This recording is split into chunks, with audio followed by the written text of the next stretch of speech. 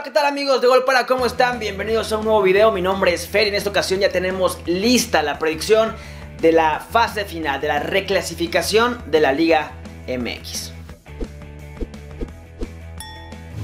Así es amigos, qué gusto saludarlos, ya se fueron 17 jornadas, ya terminamos con estas predicciones que hacíamos semana con semana en la Liga MX. Llega la parte buena de nuestra bendita liga. La reclasificación, la fase final, el repechaje, evidentemente a la gran mayoría creo que no, no le encanta esta parte de la, reclasificación. La liguilla sí, los cuartos de final sí, pero esta etapa no les encanta. Pero bueno, es nuestra liga y pues la vamos a tener que ver, ¿verdad? Y ya tenemos lista la predicción en nuestro Instagram. Ahí lanzamos eh, semana a semana lo que va a ser y ahorita lo vamos a checar. Primero arrancamos felicitando al ganador porque lo hizo de manera perfecta. Los nueve partidos acertó a los nueve. Se trata de Víctor Flores, un fuerte aplauso para Víctor Flores.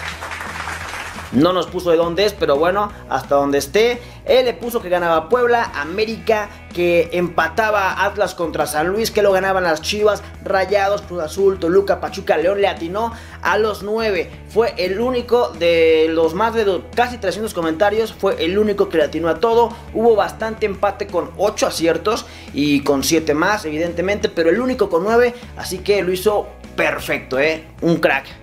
Ya de aquí vamos a hacer un repaso, un repaso de cómo quedó la tabla general. Primero, los cuatro que calificaron de manera directa fue Rayados, que la mayoría del torneo se mantuvo como líder. Robó, vamos a llamarlo así, robó en la liga, en el buen sentido.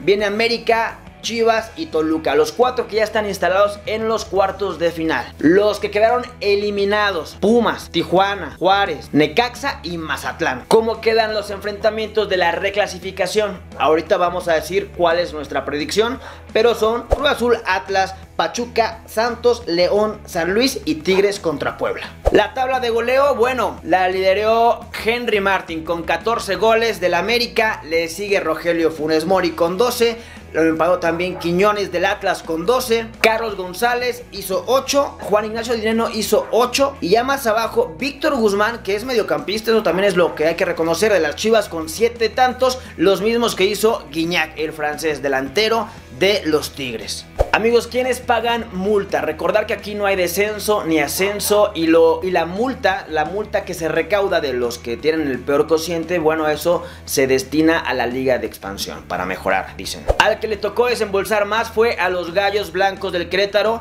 equipo que hizo un torneo medianamente bueno. Este último tenía que haber pasado a la etapa de reclasificación, pero como estuvo pagando multa, no pudo participar. Tijuana después y luego Mazatlán. El que la libró fue el equipo de Juárez. Por ahí había un rumor de que había equipos que no habían pagado la multa. La liga eh, de inmediato dio su comunicado y dijo que esto no es cierto, que todos los equipos están, han pagado en tiempo y forma porque de lo contrario no podrían haber participado en el torneo. Y antes de entrarle a los cuatro partiditos que tenemos de reclasificación, eh, quiero comentarles que tenemos eh, una dinámica en nuestro canal, en nuestras redes sociales de dos jerseys del Guadalajara. Eh, con mi buen Rocco que tiene su canal de Chivas siempre. Ahí estamos regalando un jersey de los 115 años y otro de la temporada pasada, pero firmado, firmado por el equipo de Guadalajara. ¿Qué tienes que hacer? Bueno, seguir a mi buen Rocco y a un servidor en nuestras redes sociales. Ahí está la dinámica en Instagram. Vayan a verla. Ahí tenemos una... La foto está fijada a nuestro perfil. Entonces, eh, para que ahí vayan, lean, está re fácil participar. Así que, pues bueno, ahí los esperamos y pues gracias. Y ahora sí entramos de lleno a lo que será la reclasificación, los partidos que tendremos. Como bien saben, ahí en nuestro Instagram en Golpara, bueno, pregunté, pregunté eh, su pronóstico, nada más, como no hay empates, evitamos esa, esa opción.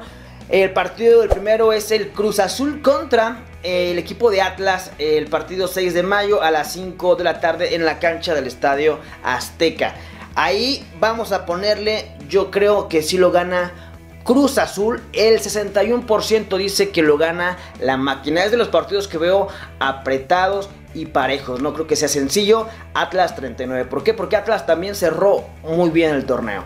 Eh, seguimos con Pachuca recibiendo al equipo de Santos. Santos que de manera increíble quedando en el lugar número 13, eh, siendo el segundo equipo más goleado, tuvo 8 derrotas en el torneo y bueno, tiene todavía la opción de ser campeón de la Liga Mexicana, aunque creo que Pachuca, que quedó en quinto lugar, es un muy buen, muy buen equipo y lo va a ganar Pachuca y el 90%, chequense, el 90% dice que lo ganan los Tuzos, el 10% dice que Santos da la sorpresa. Creo que los favoritos siempre serán los locales en esta ocasión. León recibe al equipo de Atlético San Luis, también León un equipo que eh, es, es bueno, es favorito en esta llave y también de meterse a los cuartos de final lo va, lo va a complicar a cualquiera. Es un muy muy buen rival y creo que la mayoría se va a ir con el León y lo mismo que pasó con Santos frente a Pachuca, León 90%, Atlético San Luis el 10%. ¿eh?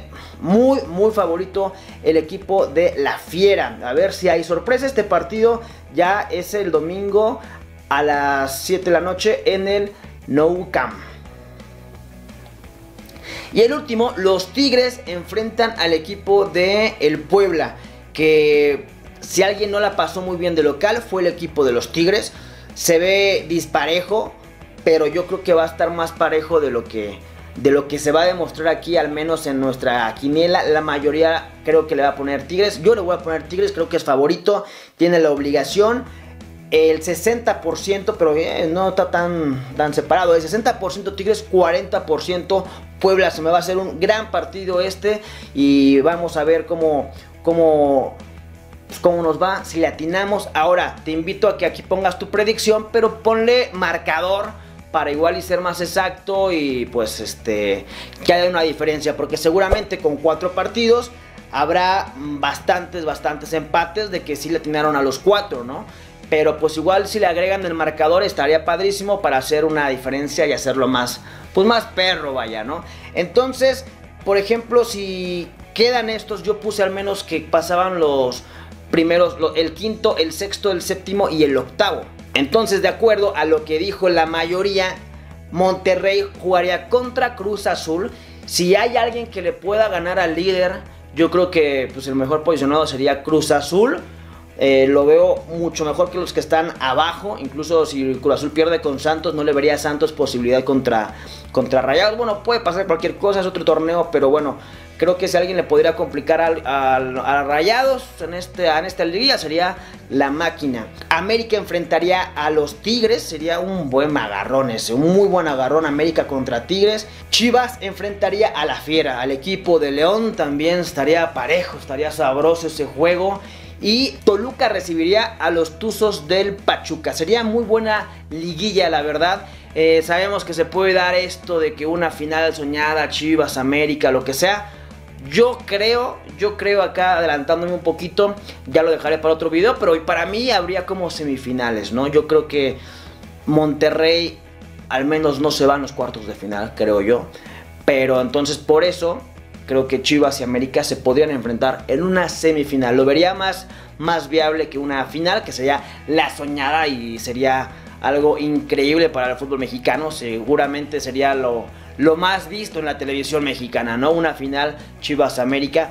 Veremos si se llega a dar, pero no hay que adelantarnos, amigos. Cualquier cosa puede pasar. Pasas de a de manera directa y luego te me vas en, en cuartos. Entonces, pues nada, con calma, a disfrutar primero los partidos de reclasificación. Ojalá estén buenos.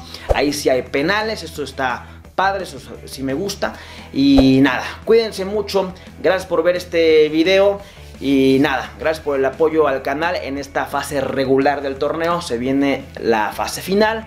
Gracias, que estén muy bien. Chao, chao.